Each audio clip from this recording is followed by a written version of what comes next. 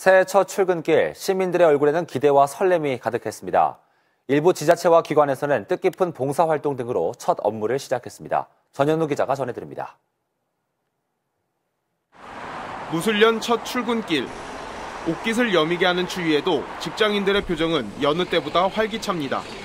다사다난했던 지난해를 뒤로하고 새해 첫 업무를 시작하는 설렘이 가득합니다.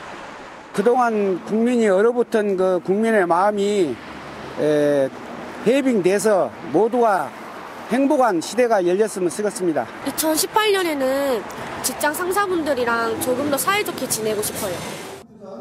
지자체와 각 기관들은 보다 뜻깊은 행사로 첫 하루를 열었습니다.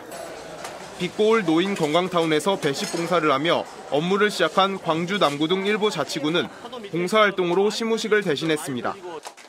지방채 67억 원을 모두 상환한 장성구는 채무 없는 군 선포식을 갖고 새해를 주민복지 향상의 원년으로 삼겠다고 다짐했습니다. 지방채 상환 예산을 국민들에게 어, 저기 투입함으로써 어, 국민들의 어, 행복을 위한 예산으로 이렇게 반영하고자 2018년 황금 개띠의 첫 업무를 시작하는 시민들의 목소리에는 묵은해를 보내고 새롭게 다시 시작한다는 각오와 기대가 가득했습니다. KBC 전현우입니다.